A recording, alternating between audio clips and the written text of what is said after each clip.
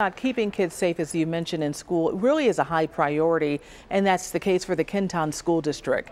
The superintendent outlined a safety and security initiative at the beginning of the school year.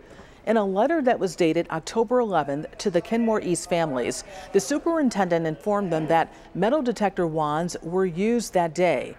Not only were students scanned with metal detector wands, their bags were also searched.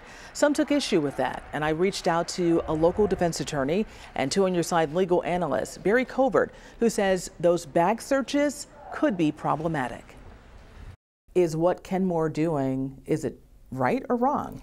I think the courts will have a real problem with their searching bags without any level of suspicion to believe that they need to do so. Using the scanner or wand, uh, I believe the courts have deemed to be appropriate generally.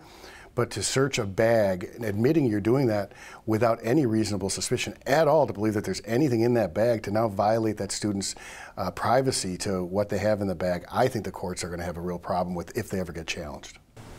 And the district was very clear that this is a proactive measure only. There was no threat. A spokesperson for the district told me via email that wanding is conducted without parents being notified ahead of time so that the students have no way of knowing when it will take place.